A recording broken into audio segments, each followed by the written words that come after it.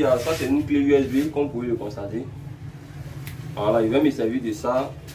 J'ai juste un petit ingrédient que j'ai mis là-dessus qui va me permettre de pénétrer dans le système. On va redémarrer notre ordinateur.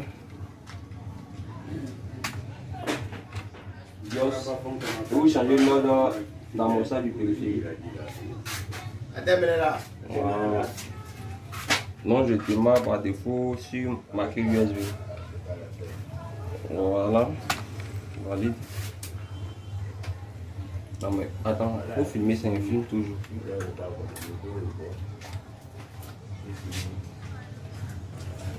Une fois sur Windows 7, nos systèmes d'exploitation, et tape un mot de passe au hasard.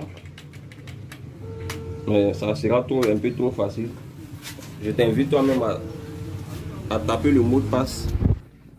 Tape un mot de passe que tu veux. Ok. Tape un mot de passe, ok. Donc directement, nous avons accès au système.